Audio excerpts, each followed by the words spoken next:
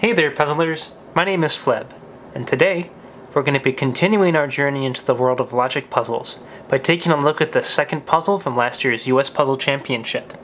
It's an example of a cave puzzle, and this one was made by Nikoli, which is one of the best Japanese logic puzzle manufacturers. You if you want to solve this puzzle yourself, I've put a link in the description to the US Puzzle Championship from last year, which is where this puzzle is from. Now this is an example of what's called a cave puzzle. So what you're doing is you're drawing a single closed loop around this grid such that all of these numbered squares are inside of the loop. So for example, this could not go outside the loop like this. That's not possible. In addition to that, each square tells you how many squares it sees in each direction, including itself. Now they have a little example up here, and I'm going to focus on that for a moment.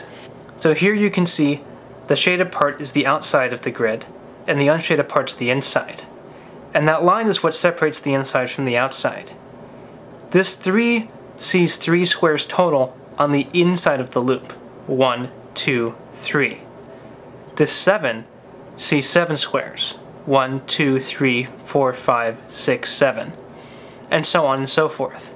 And so the object is to create that loop from the initial puzzle, which would be something like what's shown here. Okay, without further ado, let's get started.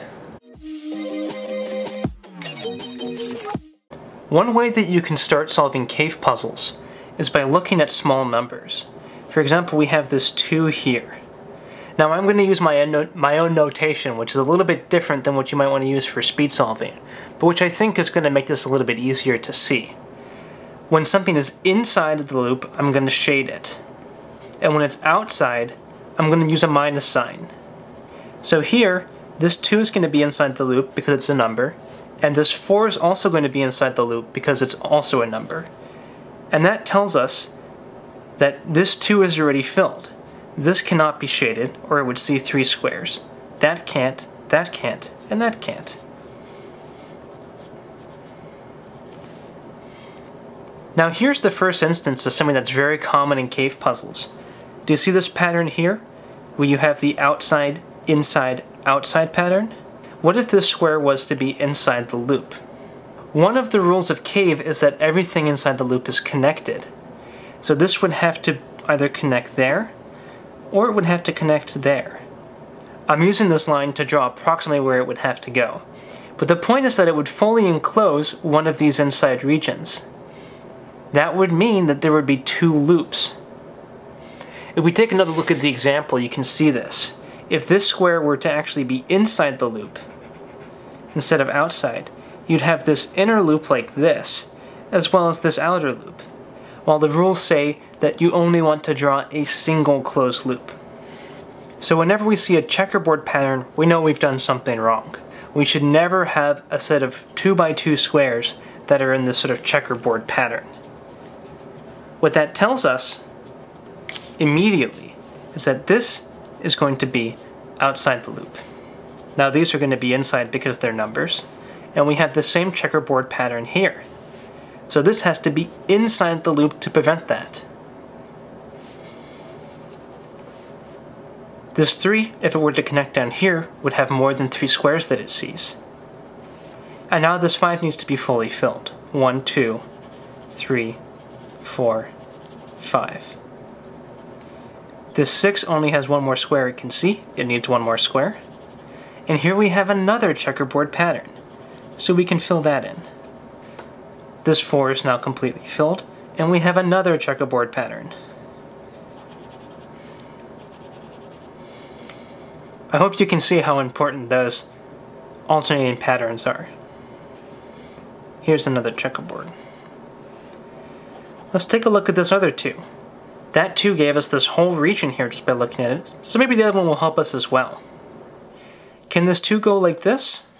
Up here? No, it'd have three squares. That allows us to get two more squares that we know are going to be outside the loop. What about this 3 down here? Well, it can't go up. Then it would see four squares. And it can't go down, because then it would also see four squares. Now here's an interesting one. This 6 here has is attached to a 3. That means it can never see more than three squares in a given direction here, horizontally. It could either be something like that, or it could be on the other side, here. But in any case, it can see a maximum of three squares here. So 3, 4, 5 means that this square has to be filled, has to be inside of the loop. If this were outside, this 6 could not see 6 squares that are inside the loop. That gives us that square, which gives us this one as well. Now, what if this 3 were to see its third square here? Well, this 3 would be fully filled, and we'd fill in these two parts as being outside of the loop, or the 3 would see too many squares. But that creates one of the checkerboard patterns that we saw before, that we know we can't have. So that 3 cannot go there. That's also a surprisingly common piece of logic. Fixing the checkerboard pattern here. This 2 cannot connect across. Fixing the checkerboard pattern, that 2 is now filled. Another very common thing to keep in mind is that the outside squares have to reach the edge of the board. For instance, if we had a inside square here, we'd have two loops. Can't have two loops, so this must be an outside square. Another very common piece of logic. Now this 6 down here, it sees three squares above it. It's going to see three squares in its own row, so it's fully filled vertically, and we can place in those two as places where it can't go. Up here we have a 3. It needs to see three squares. It can see at most one above, so 1, 2, needs to see one more this way. That 3 cannot connect up. It must go horizontally. Fixing the checkerboard. Now take a look at this 8. Big numbers are also very important in Cave because they tell you a lot of squares have to be filled in. It can see at most 1, 2, 3, 4 before it has to start looking left. So we know one, two, three, four, five, six. 2, 3, 4, 5, 6, 7, and 8 have to be filled in in order for this to work, in order for this clue to be filled. Now what about this 8 here? If you were to fill in this 8 purely vertically, 1, 2, 3, 4, 5, 6, it would attach the 6 clue here mean it could have at most six squares vertically. It must go horizontally at some point, which tells us we have two, three, four, five, six, seven, eight. Fully filled all of those eight clues. Fixing the checkerboard here completely fills that four. That three is now filled as well. This three is only one way to go. That 8 was filled earlier. This 3 is now filled. This 4 also filled. Fixing the checkerboard. Fixing the checkerboard. This 6 cannot go horizontally, so it must go purely vertically. 1, 2, 3, 4, 5, 6. This one has 6 squares, so we can fill those right in. Marking this as outside comes from the fact that this 4 is filled. This 4 now needs to be filled. Now it's filled. This 3 needs to get filled. 1, 2, needs to go up at least 1. That gives it 3 squares that it sees. We can mark the other square as being outside the loop. What about this 4 down here? 1, 2, 3.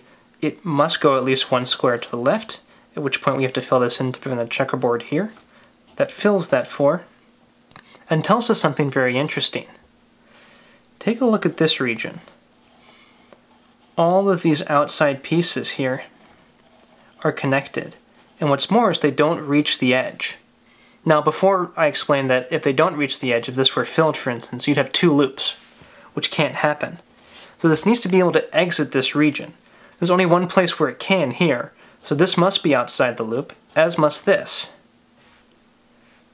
From there we don't know if it's going to connect here or there or maybe over there. We'll figure it out. But we can now fill the 4. And we can now finish off the 3. Which means that this 4 has to go to the right. This can't come down, because if it did, this 3 would see 4 squares.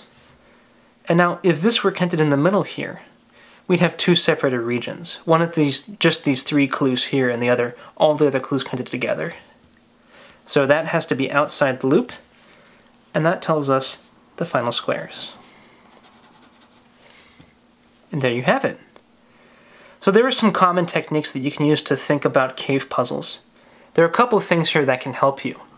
Looking at small clues, because they have very few places to go. Looking at large clues, because they have to fill a lot of squares. Using that checkerboard pattern to make sure that you don't accidentally create two closed loops. And then also making sure that all of your outside pieces are able to get to the edge, so you don't create two closed loops. I hope that you enjoyed this look at a cave puzzle, and I hope that the next time you take a look at a cave puzzle, you'll be able to apply some of these techniques. Thank you very much for watching everyone, and as always, happy puzzling!